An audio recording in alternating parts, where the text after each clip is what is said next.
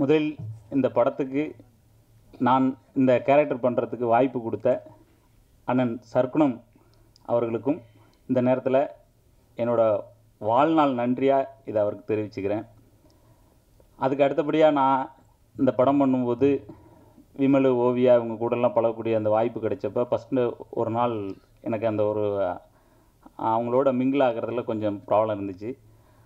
அடுத்தடுத்த நாள்லாம் பார்த்தீங்கன்னாக்கா அவங்களே என்னோட நல்ல ஒரு ஒரு ஃபேமிலியாகவும் ஒரு ரொம்ப நாள் நான் பழகினேன் அந்த ஒரு நண்பர்களாகவும் பழகுனாங்க. அந்த வகையில் இப்படி ஒரு அருமையான நண்பர் இந்த படத்தின் மூலமாக விமல் கிடச்சிருக்காப்புல. அவருக்கும் இந்த நேரத்தில் நான் நன்றியை தெரிவிச்சுக்கிறேன். அதுக்கு அடுத்தபடியாக ஓவியாவை பற்றி உங்களுக்கு எல்லாருக்குமே தெரியும். அவங்க எல்லாரோடையுமே சகசமாக பழகுவாங்க. இந்த இந்த டீமுக்கோடையும் எல்லாரோடையும் நல்லபடியாக இருந்து இந்த ப்ராஜெக்டை நல்லா எல்லோரும் சேர்ந்து பண்ணியிருக்கோம் அடுத்து இந்த ப படம் பண்ணிக்கிட்டு இருக்கும்போது நான் நான் அந்த சரண்யா மேடத்துக்கு கூட ஒரு காம்பினேஷன் சீனை இளவரசன் கா- சரண்யா மேடம் கூட. அப்போது அது வரைக்கும் எனக்கு வந்து இவங்களோட ஈக்குவலாக நடிக்கிறோமா அப்படிங்கிற அந்த ஒரு பயம் இருந்துச்சு.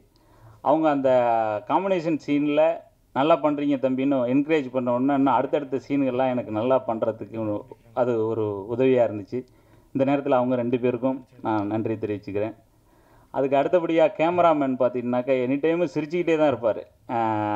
யார்கிட்டையும் அந்த ஒரு கோபமாவோ இப்போ சில ப- இடங்களில் ஒர்க் பண்ணும்போது அந்த ஃபேஸில் சில பேர் காமிக்கிற அந்த ரியாக்ஷன்ஸ் வந்து நமக்கு அதை சில டிஸ்டர்பன்ஸ் இருக்கும்.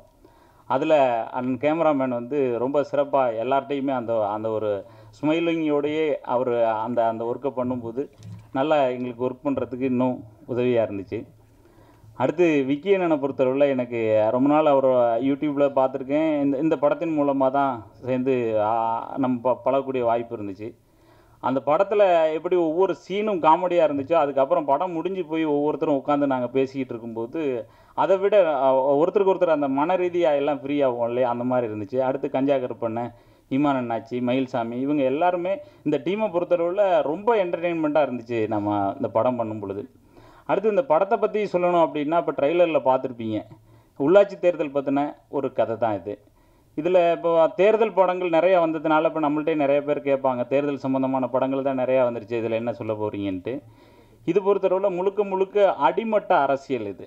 அதாவது அந்த உள்ளாட்சி தேர்தலில் அந்த ஊரில் என்ன நடக்குது. இப்போ இது வரைக்கும் வந்த படங்கள் வந்து ரெண்டு கேண்டிடேட்டும் என்ன பண்ணுறாங்கன்னு இருக்கும்.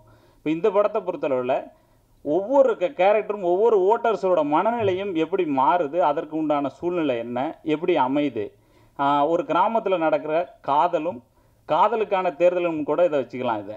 அதனால் இது இந்த படத்தை பொறுத்தளவில் ஓ- படத்துக்கு வர்றவங்க ஏன்னா ஒவ்வொருத்தருக்குமே ஒவ்வொரு பிரச்சனைகள் இருக்கும் இன்னைக்கு நிறைய பிரச்சனைகள் இருக்குது தண்ணி பிரச்சனை பணப்பிரச்சனை மனப்பிரச்சனை நிறைய இருக்குது மன ரீதியாக இந்த பிரச்சனைகளெல்லாம் விட்டுட்டு ஒருத்தர் வந்து படத்துக்கு வந்துட்டாக்க கண்டிப்பாக அந்த ஒரு ரெண்டே கால் மணி நேரம் அவங்க முழுக்க முழுக்க நல்லா என்ஜாய் பண்ணுவாங்க. இது ஒரு முழுக்க முழுக்க ஒரு என்டர்டெயின்மெண்ட் மூவி கண்டிப்பாக எல்லோரும் வந்து பார்த்து ஆதரவு கொடுங்க. நன்றி வணக்கம்.